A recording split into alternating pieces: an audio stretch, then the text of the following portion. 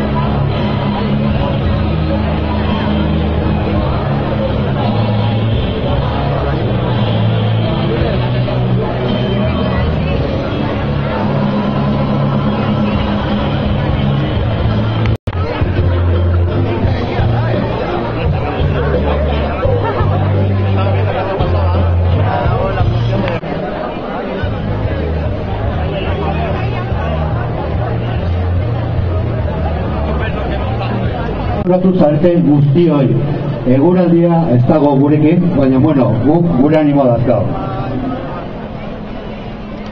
Honea etorri gara Kataluniarekin bat egiteagatik, eta egun garrantzitsu honetan beraiek gure elkartasuna jasan dezaten. Bizka Katalunia! Gora Euskal Herria! Guk, guk ere bat egiten dugu erabakitzeko eskubidearekin. Guk ere erabaki nahi dugu. Gaur goizean, goiz goizetik, Kataluniarek eren erabakitzeko eskubidea gauzatzen ari dira. Oztopo guztien gainetik, eta euren bozka paper hartuta, bozka eramatea joan dira eta joaten ari dira.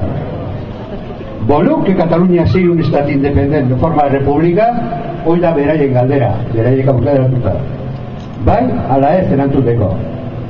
Erabakitzeko aukera irabazi dute Kataluniarrek. Dagoeneko eurena egin dute erabakitzeko eskubidea. Ez dute gehiago onartuko on Espainiak erabaki dezan euren ordez. Eta gu izugarri posten gaitu horrek. Gu beti Kataluniar, Kataluniarekin agirre zion bezala. Bisa Katalunia. Baina gu hemen Euskal Herrian gaude eta guk ere erabakitzeko eskubidea dugu. Guk ere erabaki nahi dugu. Kataluniak egiten ari dian bezalaxe. Horretarako ordea guk gure prozesoa egin behar dugu. Geure prozes berezia.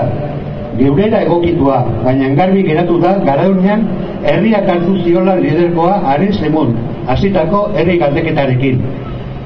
Eta horrela, inoraino heldu eta horrela oneraino heldu dira bertako instituzioen elkarlanean. Baina garbi izan behar dugu, herritaren mobilizazioerik gabe ez zirela honako oneraino iritsiko.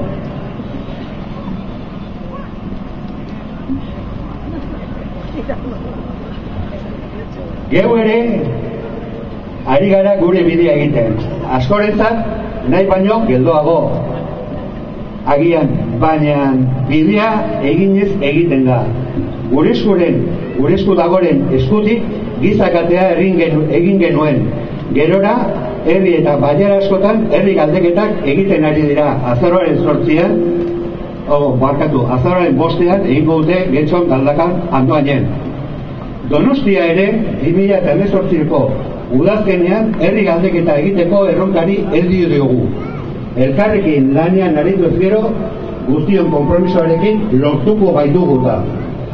Ez gara ordea, horretan gehatuko, guk ere herri gisa, nazio gisa, gure etorkizuna erabaki nahi dugu, eta gaur Kataluniarek bezala, geurea, geure aukera sortuko dugu, sinistu.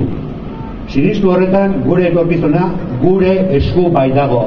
Guk erabakiko dugu zer nahi dugun izan gure esku dago, gure Euskal Herria, Bizka Katalunia. todos los que habéis venido a esta concentración para solidarizaros con Cataluña en este día tan importante. Nosotros también nos unimos al derecho a decidir. Nosotros también queremos decidir. Hoy, desde primera hora, los catalanes están ejerciendo su derecho a decidir. Superando todos los obstáculos, están acudiendo a votar con sus papeletas y contestando a esta pregunta. ¿Quieres que Cataluña sea un Estado independiente en forma de república? Unos responderán sí, otros responderán no. Los catalanes se han hecho con el derecho a decidir, ya han conseguido el derecho a decidir. Nunca más aceptarán que España decida en su nombre. Y a nosotros esto nos alegra muchísimo. Nosotros siempre con Cataluña. Visca Cataluña. y hay que ver hasta dónde han llegado en colaboración con sus instituciones. Debemos tener claro que sin movilización popular no hubiesen llegado hasta este punto. Nosotros también estamos recorriendo nuestro camino, según algunos demasiado lento, quizás, pero estamos haciendo camino. Hicimos una gran cadena humana de la mano de Gures Cudago. Posteriormente se han hecho consultas en muchos pueblos. El próximo 5 de noviembre se harán en Guecho, Galdacao, Andoain. En Donostia nos hemos propuesto el reto de hacer una consulta popular en otoño de 2018, con la colaboración de todos, con el compromiso de todas, lo conseguiremos. Pero no quedaremos en eso. Nosotros, como pueblo, como nación, queremos decidir nuestro futuro como hoy los catalanes. Crearemos nuestra opción, estad seguros. Nuestro futuro lo decidiremos nosotros mismos. Gure esku gora Euskal Bizka Katalunia. Bizka!